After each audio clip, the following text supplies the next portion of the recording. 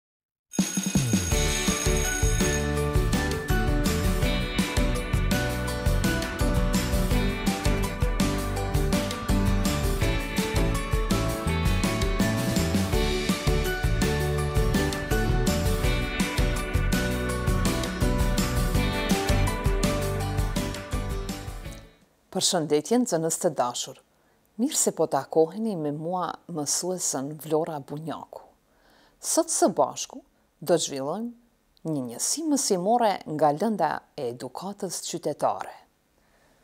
Njësia mësimore për ditën e sotme është Ndikimi i internetit në marrjen e informacionit. Rezultatet e të nxënit të lëndës janë, përshkruan pozitën e qytetarit në shoqëri, analizon marrjen e informatave përmes internetit. Nxënës të dashur, ju ftoj që të merrni pranë vetes librin Edukata Qytetare dhe ta përgatitni në faqe tetëdhjetë e dy, fletoren për të mbajtur shënime dhe lapsin.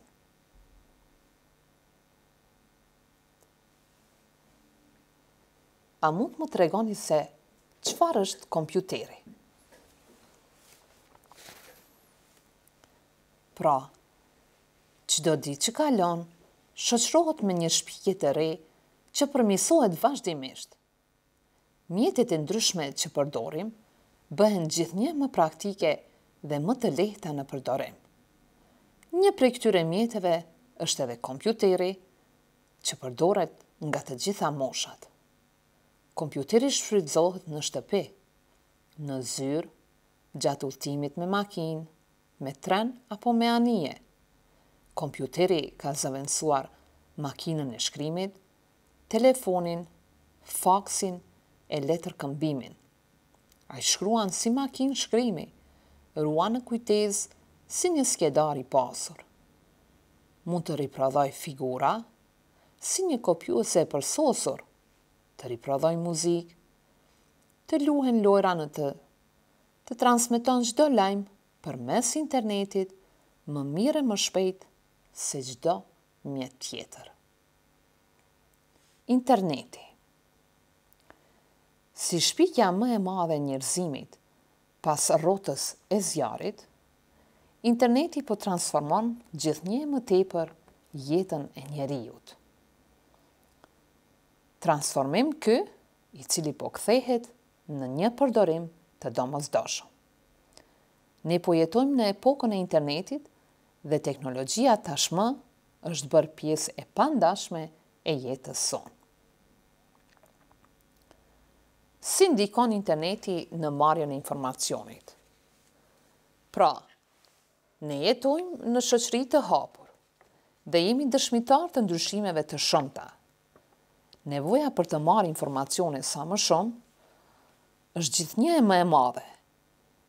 Qytetarët ndodhen para një llojllojshmërie mediale, prandaj ky fakt mund të konsiderohet si përparësi e kohës. Duke qenë pjesë e shoqërisë demokratike, shpesh paraqitet nevoja që përmes mediumeve edhe ne të japim informacione. Këtu del në shesh e drejta e njeriut për të qenë i informuar, si dhe për të dhënë informacion. Një prej këtyre burimeve të informacioneve është edhe kompjuteri dhe interneti. Çfarë mendoni ju nxënës të dashur? A mjafton vetëm libri për të mësuar?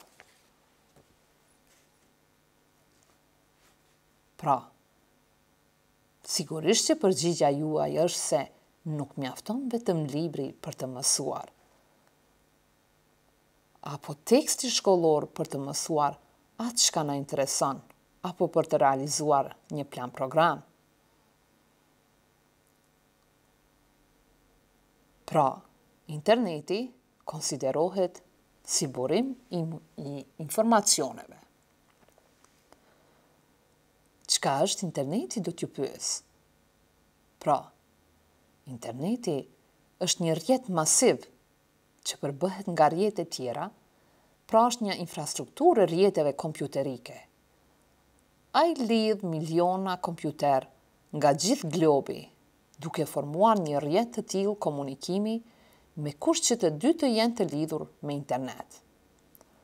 Pra interneti është rrjet kompjuterësh të lidhur në dhjetra e mijëra rrjeta të vogla kompjuterësh rreth e qark globit, siç po e vreni edhe në fotografinë e paraqitur. Secili kompjuter ka mundësi të komunikojë me secilin kompjuter tjetër të kyçur në rrjet. Përmes internetit, ne mësojmë shumëçka, nga natyra e shoqëria, nga teknologjia, edukimi qytetar, matematika, arti, muzika e mbi të gjitha, interneti na ndihmon shumë në mësimin e gjuhëve të huaja. Pra, gjëja që na pasuron me dituri dhe na ndihmon të marrim informacione sa më shumë është interneti. Të shofim pak historikun e internetit. Historia për të cilën kemi njohuri se kur ka filluar interneti është fillimi i vitit një mijë e nëntëqind e gjashtëdhjetë.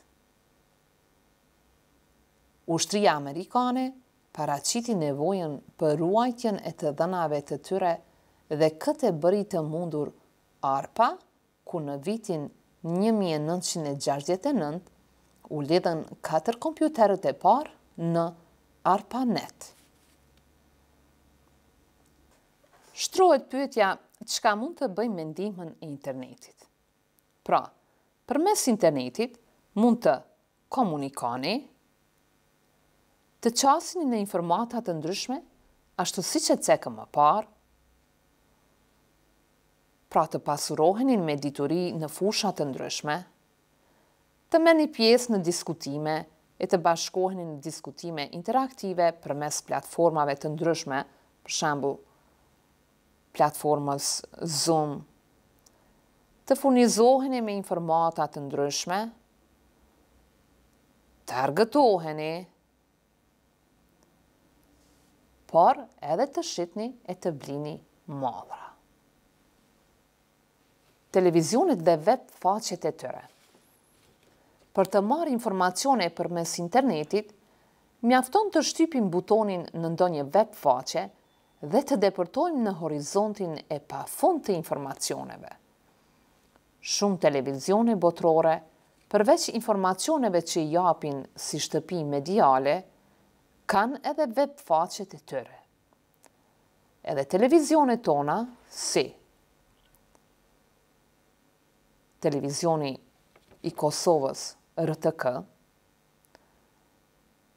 TV njëzet e një, Koha Vizioni apo KTV-ja, Alsat e tjerë kanë të hapur webfaqet e internetit. E gjithë kjo bëhet në shërbim të qytetarëve për t'ua plotësuar nevojat që ndiejnë ata për marrjen e informacionit. Pra, Interneti ndihmon për të krijuar miqësi dhe lidhje midis njerëzve nga shtetet e ndryshme të botës. Qëndrimet për një kohë të gjatë dhe të panevojshme në internet mund të na sjellin edhe probleme shëndetësore. Prandaj, ju paraqes disa këshilla për mbrojtjen e shëndetit tuaj. Gjëja e parë që duhet bërë është mbajtja e pastër e ekranit dhe tastierës së kompjuterit. Pastaj, për t'i mbrojtur sytë, ju mund të zgjidhni sfonde me ngjyrë gri, pra jo të hapur ose të bardhë, sepse sytë lodhen më pak Po ashtu, rregulloni ndriçimin e monitorit në bazë të orarit që përdorni kompjuterin. Do t'ua paraqes një rregull që thotë njëzet, njëzet, njëzet.